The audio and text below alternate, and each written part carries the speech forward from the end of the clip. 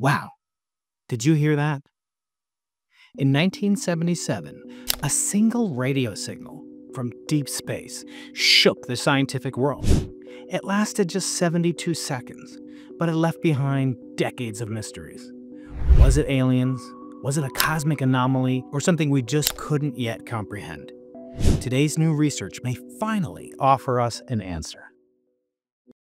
In the summer of 1977, at Ohio State's Big Ear radio telescope, researchers detected a powerful and unusual radio signal from the constellation Sagittarius. One astronomer was so amazed he scribbled wow on the printout, but the signal never repeated. No source could ever be identified, and the mystery endured. For decades, the wow signal symbolized humanity's quest to answer the ultimate question, are we alone in the universe? And for decades, all we've gotten back is silence. Until now.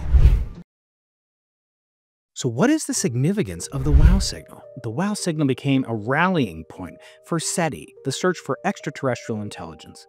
It came in at a frequency of 1420 megahertz, which is a frequency closely and intimately linked to hydrogen, the most abundant element in the universe, and thought to be the most likely frequency for alien civilization to communicate on.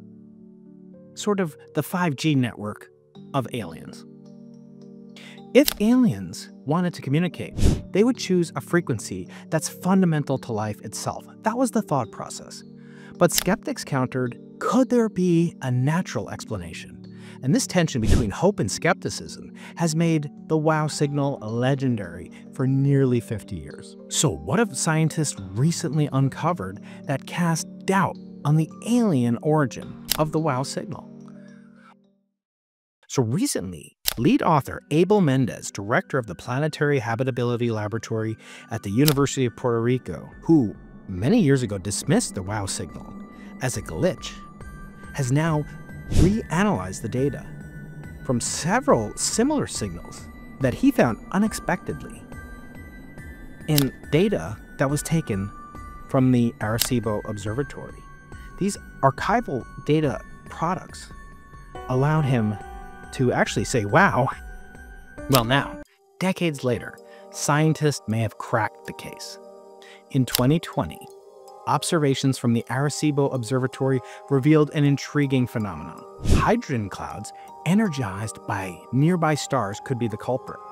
In fact, when these clouds interact with intense radiation, they produce short, sharp bursts of energy, exactly like the WOW signal. And since these clouds are made of hydrogen, they contain the necessary ingredients to reproduce this incredibly abundant, naturally occurring signal at 1420 megahertz, or otherwise known as 21 centimeter radiation.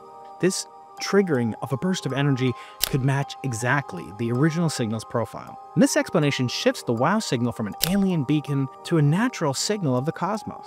It's a little less exciting for sure, but it also reveals how little we understand about the dynamic interactions of our universe we should always look for prosaic explanations rather than more far out or outlandish explanations, as much as we might want them to be true.